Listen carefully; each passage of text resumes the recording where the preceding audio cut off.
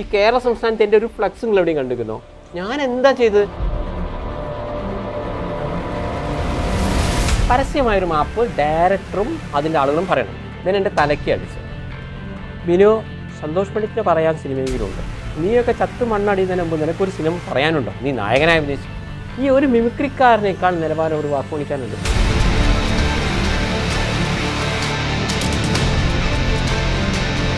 ഇജ്ജ് എങ്ങനെ പടം എടുക്കുക എന്റെ നന്ദന വെച്ച് ഒറ്റയാൾ പോരാട്ടം എന്ന് തന്നെ പറയാം. താങ്കൾക്ക് ആരുടെയും സപ്പോർട്ടില്ല എന്റെ തലയിൽ ഒരു രോമം നീ പെഴുതാ. എന്റെ തല ഞാൻ കൊയ്യും. ഇവിടുത്തെ പല സൂപ്പർ സ്റ്റാറുകളുടെ സിനിമയുടെ പേര് നിങ്ങൾക്കറിയാം. പിന്നെ ആ വിനോടിമാലിനൊക്കെ ഒഴിവാക്കി അതിന്റെയൊക്കെ റേറ്റിംഗ് കൂടുന്നു. ഒന്ന് ബോഡി ഷേമിങ് കോമഡിയാണ് ഒന്ന് ഡബിൾ ഫീലിംഗ് ആണ്. എന്നെ വെറുതെ ചൊറിയാൻ വന്നു. ഞാൻ മാന്തി വിട്ടു. എന്നോടൊരു പൂ ചോദിച്ചു. ഞാനൊരു പൂന്തോട്ടം കൊടുത്തു. ഇത്രയും ഉണ്ടായിട്ടുള്ളൂ.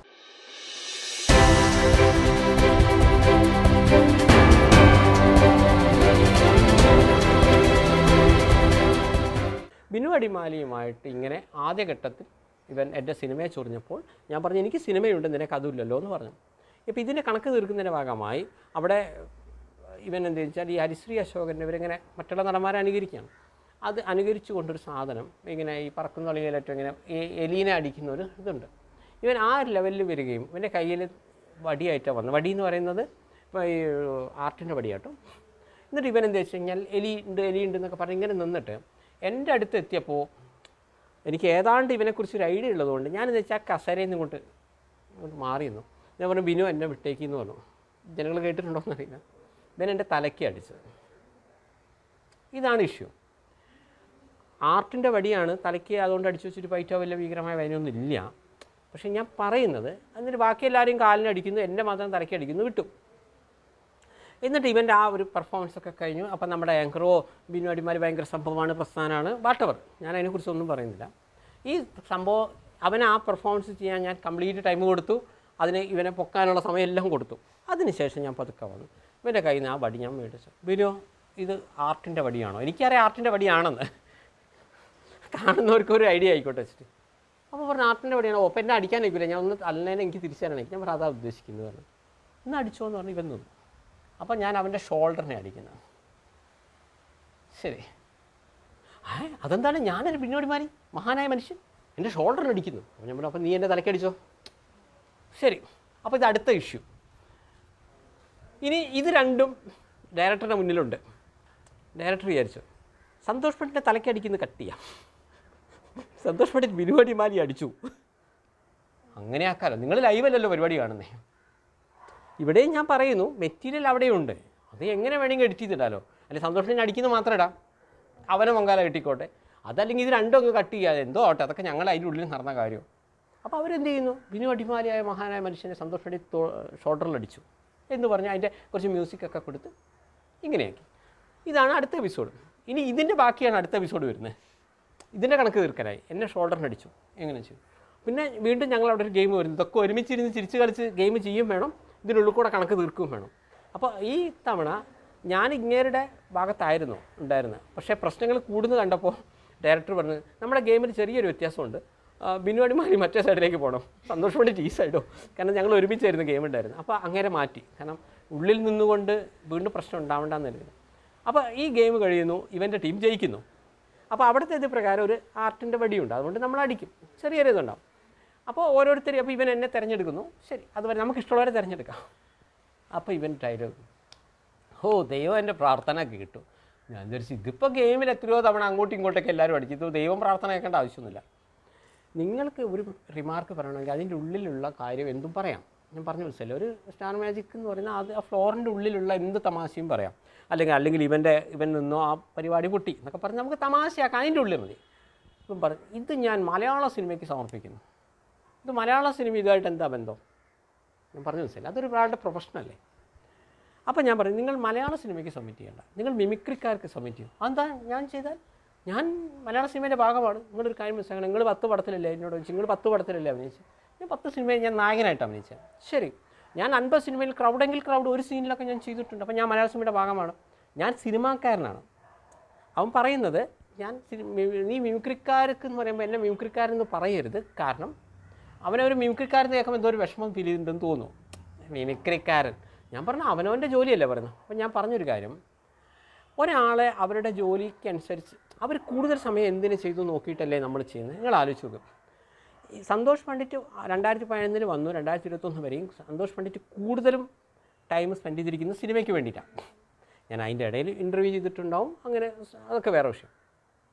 ബിനു അടിമാലി എന്ന് പറഞ്ഞ മനുഷ്യൻ വന്ന അന്ന് മുതൽ അവന് മുപ്പത് മുപ്പത്തഞ്ച് വർഷമായിട്ടുണ്ടാവും. ഇത്രയും കാലം അവൻ എന്താ ചെയ്തിരിക്കുന്നത് പ്രമുഖനായ നടൻ സത്യനെ അനുകരിച്ചു ഹരിശ്രീ അശോകനെ അനുകരിച്ചു ജയനെ അനുകരിച്ചു ഇങ്ങനെയുള്ളതല്ലേ ചെയ്തിട്ടുള്ളൂ. അനുകരിച്ചു അതല്ലേ ബാക്കി ടി വി ഷോസിലാവുന്നത് അപ്പോൾ ഒബ്വിയസ്ലി അങ്ങേരെ ഒരു മിമിക്രിക്കാരനാണ്. അതേസമയം അദ്ദേഹം ഒരു അമ്പത് സിനിമയിൽ അഭിനയിച്ചിട്ടുണ്ടാവും. പക്ഷെ അദ്ദേഹം സിനിമാക്കാരൻ എന്നുള്ള രീതിയിലല്ല മിമിക്രിക്കാരൻ എന്നുള്ള രീതിയിലാണ് അറിയപ്പെടുന്നത് ഞാൻ പറഞ്ഞു ശരിയല്ലേ? അതിന്റെ ഉള്ളിൽ വെച്ചിട്ടല്ലേ നമ്മൾ വരുന്നത്. അതുകൊണ്ട് ഞാൻ പറഞ്ഞു നിങ്ങൾ മിമിക്രിക്കാർക്ക് സബ്മിറ്റ് ചെയ്താൽ മതി എന്ന് പറഞ്ഞു. ഈ സമയത്ത് ഞാൻ എന്റെ ടീമിലെ ആളുകളോട് പറഞ്ഞാണ് എടാ ഞാനൊരു ഡയലോഗ് പറയട്ടെ ഇവനോട് എന്ന് പറഞ്ഞു. അപ്പോൾ ആ സന്തോഷട്ടാ പറഞ്ഞു. ഞാൻ ഉരുക്ക് സതീശിലെ ഡയലോഗ് പറയട്ടെ എന്ന് പറഞ്ഞു. ഉരുക്ക് സതീശിലെ ഡയലോഗ് ഇങ്ങനെയായിരുന്നു. നീ ഒന്നും ജീവിച്ചിരിക്കുമ്പോൾ നിന്നെ ഒന്നും ആരും ശ്രദ്ധിക്കില്ല പിന്നെ ചത്ത ചിലപ്പോൾ ശ്രദ്ധിച്ചു എന്ന് വരും. അല്ലെങ്കിലും ചില ജീവികളൊക്കെ അങ്ങനെ. ചത്ത് ചീച്ച് നാറ്റം അടിക്കുമ്പോഴേ മറ്റുള്ളവരുടെ ശ്രദ്ധയിൽപ്പെടും. ആ നാറ്റം ചിലർക്കൊക്കെ സുഗന്ധമായിട്ട് തോന്നും. അതാരുടെയും കുറ്റമല്ല. കപ്പൽ തിന്ന സ്രാവിനെ നോക്കി. തുപ്പൽ തിന്ന പരൽ മീന് വാ പൊളിച്ചിട്ട് കാര്യമില്ല. എന്റെ തലയിൽ ഒരു രോമം നീ പിഴുതാ. നിന്റെ തല ഞാൻ കൊയ്യും. നീ പറയും ഞാൻ ചെയ്യും. ഉരുക്കട. ഇതായിരുന്നു എന്റെ സിനിമയിലെ ഡയലോഗ്. ആ ഉരുക്കട എന്നുള്ളത് കട്ട് ചെയ്തു. ഞാൻ ഉരുക്ക് സജീശിലെ ഡയലോഗ് പറയട്ടെ എന്നുള്ളതും കട്ട് ചെയ്തു. ഇപ്പം എന്തായി? ഞാൻ മലയാള സിനിമയ്ക്ക് സബ്മിറ്റ് ചെയ്യും. നീ സബ്മിറ്റ് ചെയ്യണ്ട. നീ മിമിക്രിക്കാർക്ക് സബ്മിറ്റ് ചെയ്യും. നീ ഒന്നും ജീവിച്ചിരിക്കുമ്പോൾ ഇങ്ങനെയാക്കി എഡിറ്റ് ചെയ്തു. അപ്പോൾ ആൾക്കാർ സന്തോഷേട്ടാ എന്നാലും അപ്പം മലയാള സിനിമയ്ക്ക് സബ്മിറ്റ് ചെയ്യുമെന്ന് പറയുമ്പോൾ തന്നെ ഇത്രയും ഹെവി ആയിട്ടുള്ള ഡയലോഗ് വേണം? നിങ്ങൾ ലൈവ് അല്ല കണ്ടത്. ഞാൻ പറഞ്ഞു മനസ്സിലേ ഈ ഈ പറയുന്ന ഡയലോഗ് തന്നെ ആർക്കെങ്കിലും ഈ പരിപാടി കാണുന്നവർക്ക് വിശ്വാസക്കുറവുണ്ടെങ്കിൽ എന്റെ ഫേസ്ബുക്കിലും യൂട്യൂബിലൊക്കെ ഉണ്ട് ഈ ഡയലോഗ് അതിന്റെ ട്രെയിലറിലടക്കമുണ്ട് നീ ഒന്ന് ജീവിച്ചിരിക്കുമ്പോൾ അത് ഞാൻ എന്റെ വില്ലനോട് പറയുന്ന ഡയലോഗായത് പക്ഷെ ഇങ്ങനെയൊക്കെയാണെങ്കിൽ ഉള്ളത് പറയാലോ. ആ സിറ്റുവേഷനിൽ എനിക്ക് എന്റെ സിനിമയിൽ പറഞ്ഞതിനെക്കാട്ടൊരു സുഖം തോന്നി. കാരണം ഒരുത്തൻ ഇത്രയും അഹങ്കാരത്തോടെയൊക്കെ ഇങ്ങനെയൊക്കെ പറയുമ്പോൾ ഇവൻ ഒറ്റയടിക്ക് ഇന്ന് ഒരു മുഖം കാണാം. ആകെ ചമ്മി നാറി. ഞാൻ പറഞ്ഞു അടിച്ചിട്ടങ്ങ് പോ. ആ എന്താണ്? ഓനെ ഓനെ അവനെ അടിക്കാനെന്നുള്ളൊരു മൂടില്ല ഇവനെന്തോ ഒരു ലോക എവറസ്റ്റ് കൊടുമുടി കീഴടക്കി ഒരു ഗെയിമിൽ ജയിച്ചു. പണ്ടിച്ചിനെ കിട്ടി എന്നാണ് നിൽക്കുന്ന ഒരുത്തനോട് ആ ഡയലോഗ് പറഞ്ഞപ്പോൾ ഇവൻ കംപ്ലീറ്റ് ഡൗൺ ആയിട്ട് അയ്യങ്ങ് അടിച്ചു പോയി കുറേ നേരം നിന്ന്. ആ എന്നാൽ ശരി. അപ്പോൾ അവിടെ ഡയറക്ടറും ഇടപെടുന്നില്ല ആരും ഇടപെടുന്നില്ല. അവനെ നന്നായി കിട്ടി എന്ന രീതിയിലേ എല്ലാവരും എടുത്തിട്ടുള്ളൂ. പക്ഷേ വിവാദം തുടങ്ങിയപ്പോൾ ഞാൻ പറഞ്ഞല്ലോ വിവാദം അവസാനിപ്പിക്കേണ്ടിയിരുന്നത് അതിനെ മാപ്പ് പറഞ്ഞിട്ടായിരുന്നു. അതിന് പകരം ഇവർ ചെയ്യുന്നതാണ്. സന്തോഷ് പള്ളിക്ക് അത്ര മഹാനൊന്നുമല്ല മഹാനായ ബിനു അടിമാലിയോട് പഞ്ചു ഡയലോഗ് പറഞ്ഞിട്ടുണ്ട്. കൗണ്ടർ പറഞ്ഞു. ഇതാണ് ഞാൻ പറയുന്നു നിങ്ങളോട് നമ്മൾ അത് ഒരു പരിധി വരെ നമ്മുടെ മലയാളികൾ ശ്രദ്ധിക്കേണ്ട വിഷയമാണ്. ഇവിടുത്തെ ഈ മിമിക്രിക്കാർക്ക് അവർ ചെയ്യുന്ന ഈ അധികം ചളിയാണ് അവർ പറയുന്നത് വെറും വളിപ്പാണ് കാരണം ഇവർ മൂന്ന് തരത്തിലാണ് ഇവരുടെ കോമഡി വരുന്നത്. നിങ്ങൾ ആലോചിച്ച് നോക്ക്. ഒന്ന് ബോഡി ഷേമിങ് അല്ല നിങ്ങൾ ഏത് പരിപാടി കണ്ടറിയാം ആ മറ്റവൻ കറുത്തിട്ടാണ് മറ്റവന്റെ പല്ല് പൊങ്ങിയിട്ടാണ് അവന്റെ രൂപം ശരിയല്ല. പിന്നെ ആ ഒരു സമാധാനം ഈ പറയുന്നവൻ ഋത്തിക് റോഷനെ പോലെ ഇരിക്കുന്നു എന്നുള്ളത് മാത്രമാണ് നമുക്ക് പ്രതീക്ഷയ്ക്ക് അല്ല അത് മാത്രമേ ഉള്ളൂ. അവർ അവരെക്കുറിച്ച് എങ്ങനെയാണ് അത് തെറ്റെന്ന് ഞാൻ പറയുന്നില്ല. ഒന്ന് ബോഡി ഷേമിങ് കോമഡിയാണ് ഒന്ന് ഡബിൾ മീനിങ് ആണ്. നോക്കി അറിയാൻ പറ്റും. ഒക്കെ സ്ത്രീകളെ ഇതാക്കി കൊണ്ടുള്ള വെറും സെക്സ് കോമഡിയാണ് വരുന്നത്. ഇതാണ് ഇവരുടെ രണ്ടാമത്തെ കോമഡി മൂന്നാമത്തെ റേസിസമാണ് നിങ്ങൾക്ക് നോക്കി അറിയാം ഒരാൾ എന്തെങ്കിലും പറഞ്ഞു താകുമ്പോൾ ഉടൻ ഇവർക്ക് ഈ വാർപ്പിന്റെ പണിയെടുക്കുന്നവരും കൂലിപ്പണിക്കാർ ഇവർക്ക് ഇഷ്ടമല്ല അപ്പോൾ ഇവർ പറഞ്ഞു നീ വാർപ്പ് പണിക്ക് വെക്കോ ഇവർ സ്ഥിരം ഒരു ഇവരുടെ ഒരു കോമഡി സ്റ്റൈലാണ് നിങ്ങൾ വാർപ്പ് പണിക്ക് വയ്ക്കുക അതേപോലെ മത്സ്യത്തൊഴിലാളികളെ വളരെ മോശമാക്കി ടച്ച് ചെയ്യുന്നത് അപ്പം ഞാൻ ചോദിക്കുന്നത് ഈ മത്സ്യത്തൊഴിലാളികളായാലും ഇങ്ങനെയുള്ള ഒരു വിഭാഗത്തെ വളരെ മോശമാക്കി ഇങ്ങനെയൊന്നും ചവിട്ടിത്തേക്കേണ്ട ഒരു ആവശ്യമില്ല. ഈ വാർപ്പ് പണിക്കാർ ഈ ഒരു മിമിക്രിക്കാരനേക്കാൾ നിലവാരം ഒരു വാർപ്പ് പണിക്കാരനുണ്ട് കാരണം അവരൊന്നില്ലെങ്കിൽ രാവിലെ ഏഴ് മുതൽ വൈകുന്നേരം അഞ്ച് മണി വരെ നല്ല വെയിലും കൊണ്ട് കഷ്ടപ്പെട്ടാണ് ചെയ്യുന്നത്. ഇവർ പൈസ ഉണ്ടാക്കുന്നത് അല്ല? ഇവരെ ഭാഷ പറഞ്ഞത് ഇവരെങ്ങനെയാണ് പൈസ ഉണ്ടാക്കുന്നത്? ഞങ്ങൾ നടൻ സത്യനെ അനുകരിച്ചു.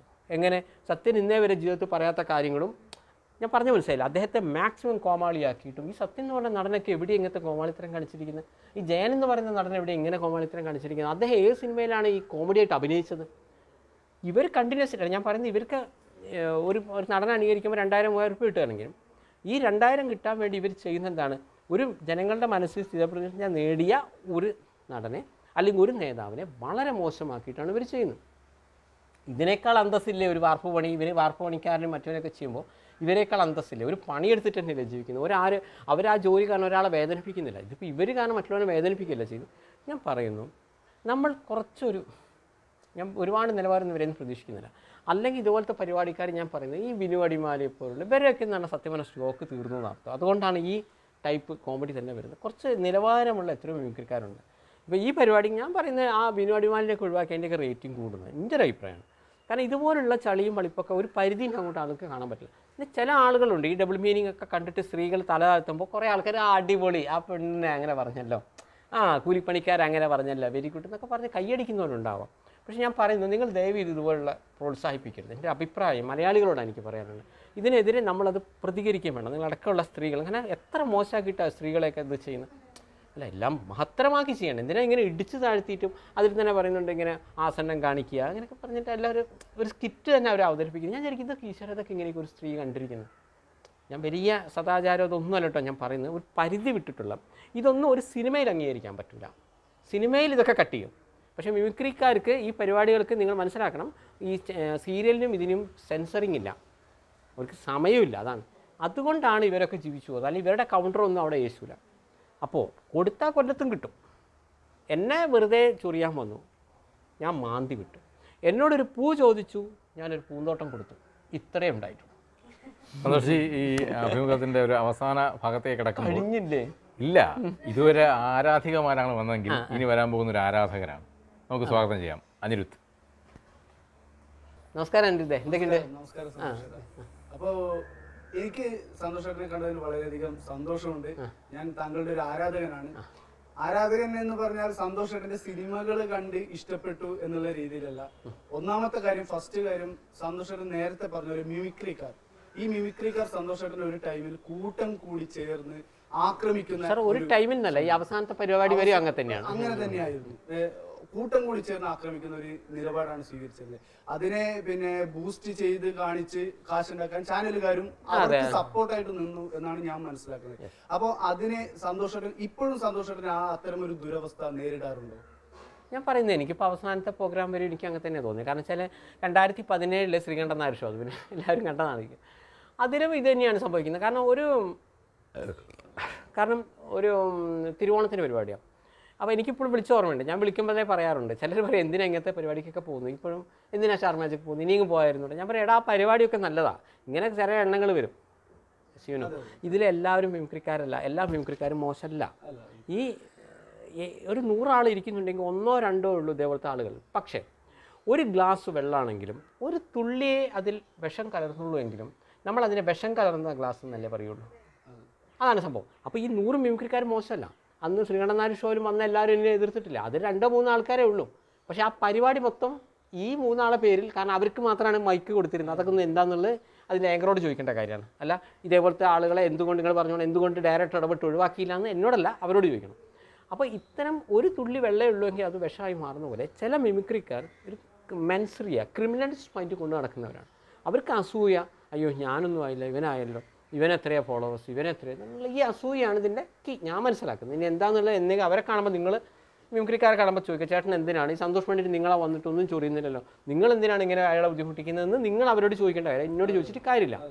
അപ്പം ഞാൻ പറയുന്നത് ഈ ശ്രീകണ്ഠൻ നായർ ഷോയിലായാലും ഒരു തിരുവോണത്തിന്റെ പരിപാടിയാണ്. പക്ഷേ ആദ്യത്തെ ചോദ്യം നിങ്ങളെങ്ങനെ? ഇവർ രണ്ടായിരത്തി പതിനൊന്ന് ചോദിക്കാൻ തുടങ്ങി. നിങ്ങളെങ്ങനെ ലോകജിറ്റ് പടെടുക്കാം അപ്പം ഞാൻ പറയാം എടാ ഇന്ത്യ സ്വതന്ത്രമല്ലേ നിങ്ങളെങ്ങനെ പുതുങ്ങൾക്ക് അവസരം കൊടുക്കുക? അപ്പം ഞാൻ പറയാം എന്താ പുതുങ്ങൾക്ക് അവസരം കൊടുത്താൽ നിങ്ങൾ എന്തുകൊണ്ട് ബാഹുവിൽ എടുക്കുന്നില്ല? നിങ്ങൾ എന്തുകൊണ്ട് ടൈറ്റാനിക് എടുക്കുന്നില്ല? അപ്പം ഞാൻ പറയും അഭിപ്രായ സ്വാതന്ത്ര്യമല്ലേ ഇല്ല നിങ്ങളുടെ പടത്തിൽ എന്തിനാണ് എട്ട് നായികന്മാർ ഒന്നുപോലെ ഞങ്ങളൊക്കെ ആണിനെ പെണ്ണാക്കുന്നു. ഞങ്ങൾ ഇത്രയും വലിയ ഞങ്ങൾ മുപ്പത് കൊല്ലമായി ഞങ്ങളെ ചെറുതായി കാണരുത്. ഞങ്ങൾ അനുഗ്രഹീത കലാകാരന്മാരാണ് മുപ്പത് കൊല്ലമായി പക്ഷേ ഞങ്ങൾ ഒരു സ്കിറ്റ് അവതരിപ്പിക്കുമ്പോൾ ഇതേപോലെ ഞങ്ങൾക്ക് ഒറിജിനൽ പെണ്ണിനെ കിട്ടുന്നില്ല. ഞങ്ങളിതാ ഈ കൊല്ലം സുതി ഇങ്ങനെയുള്ള ആരെങ്കിലുമൊക്കെ ആ പെണ്ണാക്കിയിട്ടാണ് ഞങ്ങൾ ചെയ്യുന്നത്. നിങ്ങൾ എന്തിനാണ്? അത് നിങ്ങളെ പെൺകുട്ടികളെ കാണാൻ രസമുണ്ട്. അത് എന്തുകൊണ്ടാണ് നിങ്ങൾക്ക് ഒന്നിനെ പോരെ അപ്പോൾ ഞാൻ പറയും സന്തോഷ് പെണ്ണിന്റെ സ്വഭാവം നല്ല എന്ന് വിചാരിച്ചു. അതുകൊണ്ടാണ് സന്തോഷ് പെണ്ണിന്റെ പെണ്ണ് കിട്ടുന്നത് നിനക്ക് കിട്ടുന്നില്ല. ഇങ്ങനെ ഈ പരിപാടി തിരുവോണത്തിന്റെ പരിപാടിയാണ് ആലോചിക്കുന്നത്. അത്. സന്തോഷം അപ്പോൾ ആൾക്കാർ പറയും എന്നിട്ട് ഇങ്ങനെ ഒരു രണ്ട് മണിക്കൂർ ഒരു മനുഷ്യനെ ചൊറിയും. എന്നെ ഗതികെട്ട് എന്തെങ്കിലും പറയടാ ഞാൻ നിന്റെ തന്തേന്റെ വശിക്കാണോ ചെയ്യുന്നത്? ഓ വെരി ഗുഡ് അവൻ നിർത്തിയാ. അപ്പോൾ ഇനി നമുക്ക് സന്തോഷത്തിന് എല്ലാവിധ ആശംസയും തരുന്നുണ്ട്. അയാളെ പുതിയ പടം ഇറങ്ങുന്നുണ്ട്. അയാളൊരു പാട്ട് പാട്ടു കൂടെ ഒന്ന് ഡാൻസ് ചെയ്യടാ. എന്ന് പറയുമ്പോൾ നമ്മൾ മിമിക്രിക്കാർക്ക് ഡാൻസൊക്കെ ചെയ്ത് അപ്പോൾ എല്ലാവിധ ആശംസയും. ഇനി പ്രമോ കട്ട് ചെയ്യുമ്പോൾ ആ ഇത് മാത്രമേ ഉള്ളൂ. ഇജ്ജ് എങ്ങനെ പടം എടുക്കുക എന്റെ നന്ദന വെച്ച് കട എടുക്കുന്നു. ഇതാ സന്തോഷ് പണ്ഡിറ്റ് വരുന്നു. പക്ഷേ അപ്പോൾ ആളുകൾ എന്നോട് ചോദിക്കും സന്തോഷ് ഏട്ടൻ എന്തിനാ ഇങ്ങനത്തെ കൂതറ പരിപാടിക്ക് പോയത്?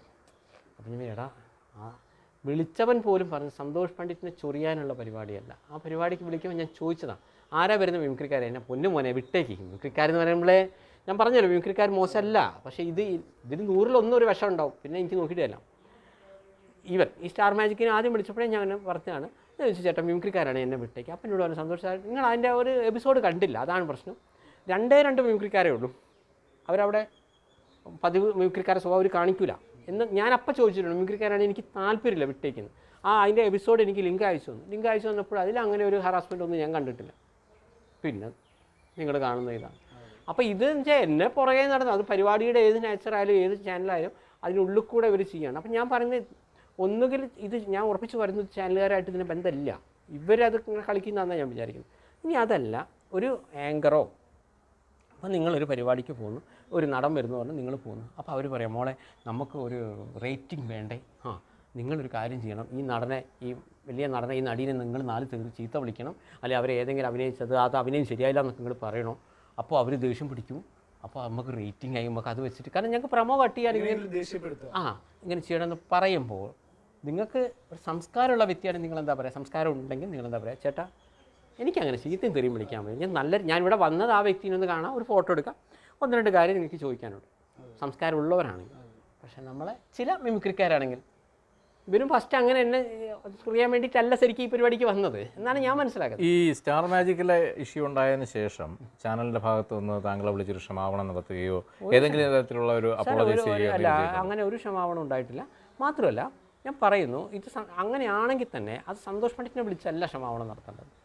ഓപ്പണായിട്ട് നമ്മൾ ചൊറിഞ്ഞിട്ടുണ്ടെങ്കിൽ ഓപ്പണായിട്ട് ക്ഷമ പറയുന്നുണ്ട് അല്ല അങ്ങനെയും ഉണ്ട്. ഇനി എന്നോട് അങ്ങനെ പറഞ്ഞാലും ഞാൻ പറയും. കാരണം അത് ഇത് ഞാനിവിടെ ഞാനിപ്പോഴും പറയുന്നു ഇവർ ഇത്രയും കാട്ടിക്കൂട്ടുമ്പോൾ സന്തോഷ് പണ്ഡിറ്റിനല്ല അത് വരുന്നത്. ഡാമേജ് വരുന്നത് താൽക്കാലികമായി. ഇപ്പം ഞാൻ അവിടെ നിന്ന് കിട്ടുന്ന പൈസ എടുത്ത് ഞാൻ കുട്ടിയേക്കാണ് നമ്മൾ ചാറ്റിക്കെല്ലാം കൊടുക്കുന്നറിയാം. അപ്പോൾ ആ ഇനി ഇവനെ ഇതൊന്ന് കുത്തി പുറത്താക്കിയാൽ ഇവന്റെ ചാരിറ്റി കാണണ്ടല്ലോ ഗതികേട് എന്ന് ചിന്തിക്കുന്നവനെ ഇപ്പോൾ വല്ലാതെ ചൊറിഞ്ഞു. അപ്പോൾ ഇനി എനിക്ക് ഇനി വിളിച്ചാലും ഞാൻ പോകണം അപ്പോൾ എല്ലാവരും എന്നോട് നിങ്ങൾ എന്താ ഇനി വിളിച്ചാൽ ഇത് ഇനി പോകല്ലേ? പറയുമ്പോൾ നല്ലൊരു പരിപാടിയാണ് ഇനി പോകല്ലേ എന്ന് പറയുമ്പോൾ നമുക്കൊരു പൈസ എല്ലാം കിട്ടുന്നുണ്ട്. പക്ഷേ ഞാൻ വേദനയോടെ വേണ്ടാന്ന് വയ്ക്കുന്നു. ഇതാണ് അവരുടെ ലക്ഷ്യം. അപ്പോൾ താൽക്കാലിക വിജയം അവരും. പക്ഷേ ഒരു ലോങ് ടൈമിൽ ചിന്തിക്കുകയാണെങ്കിൽ സന്തോഷിച്ച വിജയമാണിത്. ഈ സംഭവം താൽക്കാലികമായി അവർ വിജയിക്കുമ്പോഴും ലോങ് ടൈമിൽ ഇത് പരാജയം അവർ അവർക്ക്. കാരണം അത് പത്ത് വർഷം കഴിഞ്ഞാൽ എനിക്ക് മനസ്സിലാവും. സന്തോഷിച്ച് പറഞ്ഞാൽ ശരിയാണ് ഇപ്പൊ ഞാൻ അത് തന്നെയാണ് ചോദിക്കാൻ വന്നത്. ഇപ്പൊ ഞാൻ ആദ്യം പറഞ്ഞു സന്തോഷ് ജിയോട് എനിക്ക് ആരാധന തോന്നിയ രണ്ട് കാര്യങ്ങളിലാണ് ഒന്നാണ് ആദ്യം പറഞ്ഞത് ഈ മിമിക്രിക്കാരുടെ കൂടെ ഒറ്റയാൾ പോരാട്ടത്തോടു കൂടി നേരിട്ടു. അവർ അവരുടെ അത്തരം പ്രവൃത്തികളെ നേരിട്ടു. രണ്ടാമത്തെ കാര്യം എന്ന് വെച്ചാൽ സന്തോഷ് ജി ചെയ്യുന്ന ചാരിറ്റി തന്നെയാണ് എനിക്ക് വ്യക്തിപരമായി എനിക്ക് താങ്കളോട് കൂടുതൽ അടുപ്പം തോന്നിയത്. ഞാൻ ഒരുപാട് വീഡിയോകളും മറ്റും കണ്ടിട്ടുണ്ട് താങ്കളുടെ. താങ്കൾ സ്വന്തം വണ്ടി പോലും വിറ്റ് ഇപ്പോൾ ചാരിറ്റിക്ക് വേണ്ടി ഇറങ്ങി എന്ന വാർത്തകളൊക്കെ വന്നു. അതിനെക്കുറിച്ച് താങ്കൾക്ക് എന്താണ് പറയാനുള്ളത്? ചാരിറ്റി എങ്ങനെയായിരിക്കണം? കുറെ നടന്മാർ ചാരിറ്റി ചെയ്യുന്നുണ്ട്. അവരൊക്കെ പബ്ലിക് പ്രൊമോഷന് വേണ്ടിയിട്ട് വരെ ചാരിറ്റി ചെയ്യുന്ന ആൾക്കാരുണ്ട്. അപ്പോഴാണ് സന്തോഷ് ജി വ്യത്യസ്തനാവുന്നത്. അതിനെങ്ങനെയാണ് അതും ഈ താങ്കൾ ഇപ്പോൾ ഈ കേരളത്തിൽ അങ്ങോളം ഇങ്ങോളം ഓടുന്നത് കെ എസ് ആർ ടി സിയെ ആശ്രയിച്ചാണ് പലപ്പോഴും. അതും ഈ കോവിഡ് കാലത്ത്. താങ്കളെ പോലുള്ള സെലിബ്രിറ്റിക്ക് അങ്ങനെ ഈ ഓടി എത്തുക K S R T C വഴി ഇതൊക്കെ പ്രാപ്യമാണോ? ഇപ്പോഴും ഇപ്പോഴും ഇപ്പോഴും ഞാൻ നിങ്ങളെ ഇവിടുന്ന് നേരെ പോകുന്ന ഒരു ചാരിറ്റി ഒരു വീട് തകർന്നു. ആ വീട് ശരിയാക്കുന്നതിനിടയിലാണ് ഇപ്പം നമ്മൾ കാണുന്നത്. ഞാൻ പറയുന്നത് നമുക്ക് കിട്ടുന്നതിന്റെ ഒരു ഒരു ഫിഫ്റ്റി പെർസെന്റേജ് മറ്റുള്ളവർ കൂടെ കൊടുക്കുക എന്നുള്ളതാണ് ഞാൻ മനസ്സിലാക്കുന്നത്. എനിക്ക് എന്റെ അച്ഛൻ എന്നോട് പറഞ്ഞ് പറഞ്ഞു തന്നൊരു കാര്യമാണ്. സന്തോഷ് പണ്ഡിറ്റ് എങ്ങനെ കാണണം? ജീവിതത്തെ കാണണം എന്ന് വെച്ചപ്പോൾ എന്നോട് പറഞ്ഞാണ് സന്തോഷ് പണ്ഡിറ്റ് പ്ലസ് എഴുന്നൂറ്റി എഴുപത് കോടി ജനത പ്ലസ് ഇവിടുത്തെ മൊത്തം മൃഗങ്ങൾ പ്ലസ് ഇവിടുത്തെ എല്ലാ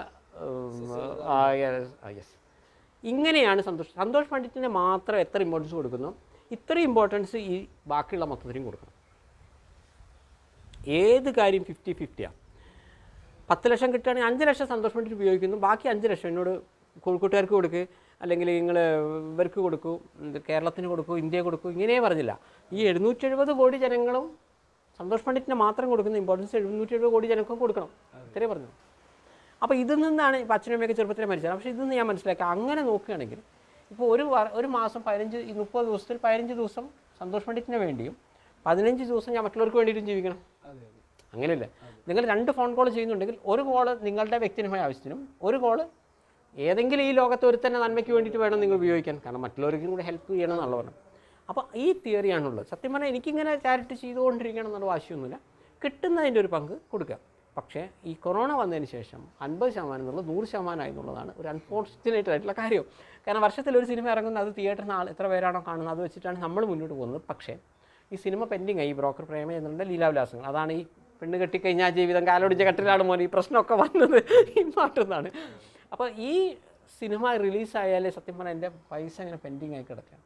അപ്പോൾ നമുക്കത് എത്രയും പെട്ടെന്ന് അപ്പോൾ ഞാൻ അപ്പോൾ പിന്നെ നിങ്ങൾ പറഞ്ഞ കാറ് വിറ്റോ അത് എന്നെ സംബന്ധിച്ചോളം അതൊരു അൺഇമ്പോർട്ടന്റ് ആണെന്ന് ഞാൻ പറയുള്ളൂ പക്ഷേ കയ്യിൽ കാശില്ലാത്തപ്പോൾ പോലും വണ്ടി വിറ്റ് കാശുമായിട്ട് അല്ല അപ്പോഴേ യെസ് യെസ് അതെ അതെ അതേ എനിക്ക് ആ സമയത്ത് ഓപ്ഷൻ ഉണ്ട്. കാരണം ഞാൻ കുറേ കുട്ടികളെ എനിക്ക് നോക്കി നോക്കിയാൻ പറ്റും. നമ്മൾ കുറേ കുട്ടികളെ പഠിപ്പിക്കുകയും കുറേ അവർക്ക് ജോലി ജോബ് ഓറിയന്റഡ് ആകാൻ വെച്ചാൽ പശുക്കുട്ടിയായാലും കോഴിക്കുട്ടി അല്ലെങ്കിൽ ആടായാലും തയ്യൽ മെഷീൻ ആണെങ്കിലും. പിന്നെ ഈ ബാത്റൂം ഉണ്ടാക്കി കൊടുക്കുക ഓട്ടോറിക്ഷ ഒരാൾക്ക് ഒരു ഓട്ടോറിക്ഷ കൊടുത്താൽ അയാൾക്ക് ജീവിതം മുന്നോട്ട് പോകാം പിന്നെ നമ്മൾ പഠന കേന്ദ്രങ്ങൾ ഉണ്ടാക്കി കൊടുക്കുക അങ്ങനത്തെ അതൊന്നും അതിന്റെ സഹകരിക്കുക മാത്രമേ ചെയ്യുന്നുള്ളൂ. അതിന്റെ കൂടെ നമ്മൾ നിന്ന് ചെയ്യുന്നു.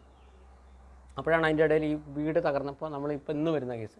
അതേപോലെ തന്നെ കത്തിപ്പോയ വീടുകൾ എന്നൊക്കെ പറയുമ്പോൾ പെട്ടെന്നല്ലേ ഒരു വീട് കത്തിപ്പോകുന്നത്. അപ്പോൾ അവർക്ക് തന്നെ പാവങ്ങളൊക്കെ ആണെങ്കിൽ ഒന്നും ഒരു ഓപ്ഷൻ ഉണ്ടാവില്ല. അപ്പോൾ നമ്മൾ അവിടെ മൊത്തം വീടുണ്ടാക്കി കൊടുക്കാൻ ഞാൻ അംബാനീനെ പോകുന്നുണ്ടല്ലോ അപ്പോൾ ഞാൻ എന്താ ചെയ്യുന്നത് വെച്ച് കഴിഞ്ഞാൽ അവർക്കുള്ള ഡ്രസ്സായാലും കാരണം ഒന്നുമില്ലായ്മയിൽ വിഷമിച്ചിരിക്കുന്ന ഒരു വ്യക്തിക്ക് അവിടെ എന്താവശ്യം?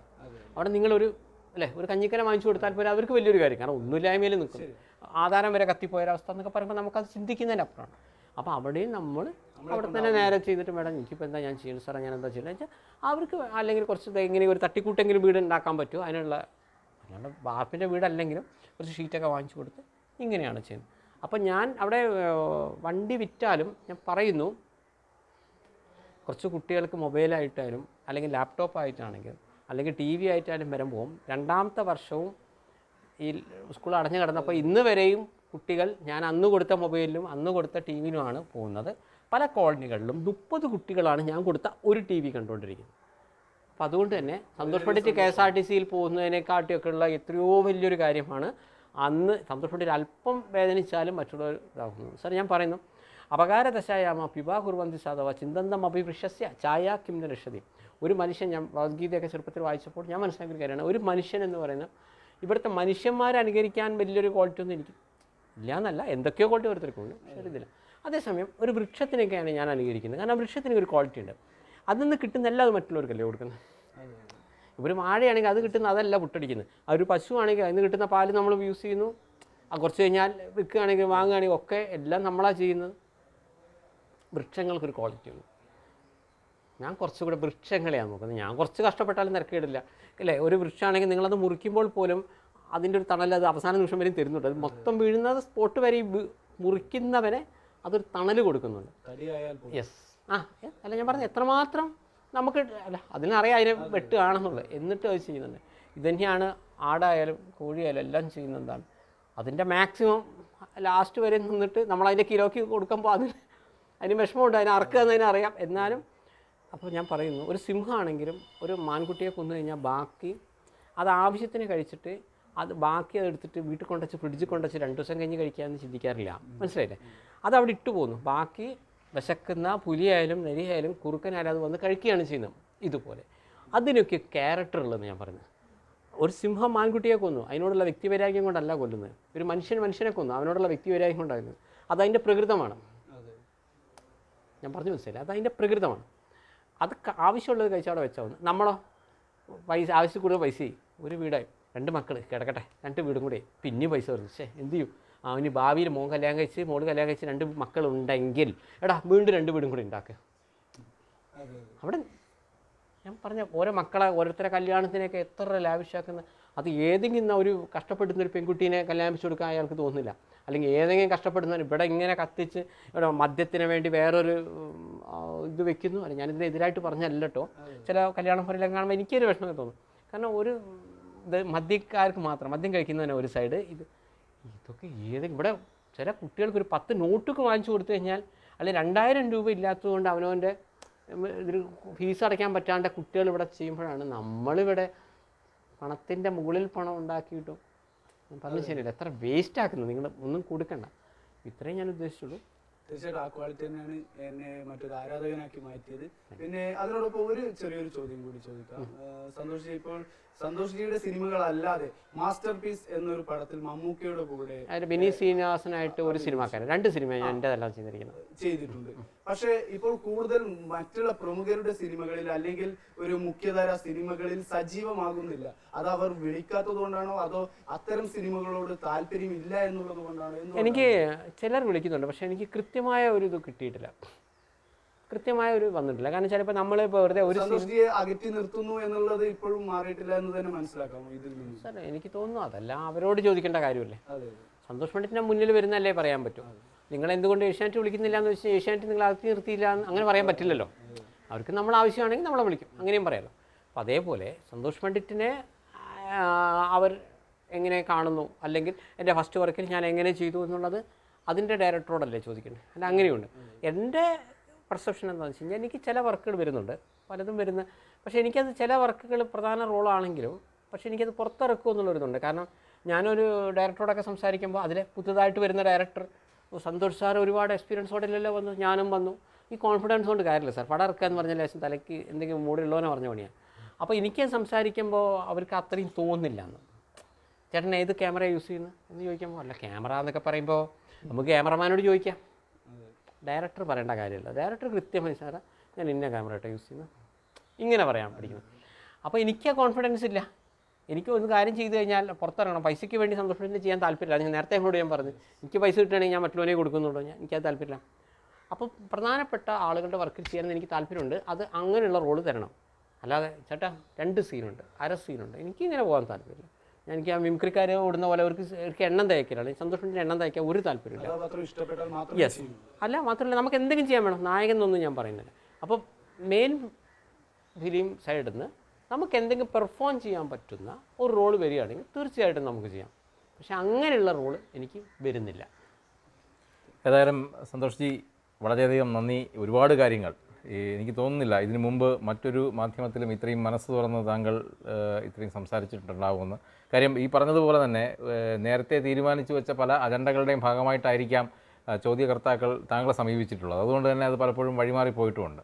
പക്ഷേ ഞാൻ പറയുന്നു ഒരു നല്ല ഒരു ഫുൾ ഓപ്ഷൻ ഉള്ള ഒരു വണ്ടിയാണെങ്കിലും ആ വണ്ടി നിങ്ങൾക്ക് വലിയ ഡ്രൈവിങ്ങിൽ വലിയ വിവരമില്ലാതിരിക്കുകയും നിങ്ങൾ ആ വണ്ടി ഉപയോഗിച്ചിട്ട് ഉടനെ തന്നെ അവിടെ കൊണ്ടുപോയിട്ട് ഒടുങ്ങി ഇടിക്കുന്ന ചില വീഡിയോ ഒക്കെ കണ്ടിരുന്നു. വലിയൊരു അടിപൊളി വണ്ടി.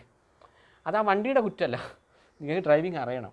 അല്ല അങ്ങനെയുണ്ട്. അതേസമയം നല്ലൊരു ഡ്രൈവർക്കാണെങ്കിൽ അയാളെ കയ്യിൽ അത് കിട്ടുന്നെങ്കിൽ കാരണം ഒരു അങ്ങനെ ഒരു വിഷ്വൽ വന്നിരുന്നു. അങ്ങനെ പുതിയ വണ്ടി എടുത്ത ഉടനെ അയാൾ വേടിച്ചു കാരണം അയാൾ പറഞ്ഞെന്തറിയാം അറിയാം? ഞാൻ ചരിച്ചപ്പോഴുള്ള വണ്ടി നേരെ അങ്ങോട്ട് പോയിന്ന് കാരണം അയാൾക്ക് അറിയില്ലായിരുന്നു. ഈ ഫുൾ ഓപ്ഷൻ വണ്ടിയൊക്കെ ഇങ്ങനെ ജസ്റ്റ് ഇയാൾ വിചാരിച്ച് ഇയാളെ സാധാരണ വണ്ടി ഇരുന്നു അത് നന്നായിട്ട് ഇങ്ങനെ തിരിച്ചാലേ തിരിയുള്ളൂ. ഇയാൾ ഇങ്ങനെ വെറുതെ തിരിച്ചിരുന്നു അത് അയാളുടെ എക്സ്പീരിയൻസിന്റെ പ്രശ്നമുണ്ട്. കാരണം വലിയ വണ്ടി അയാൾ ഓടിച്ചിട്ടില്ല.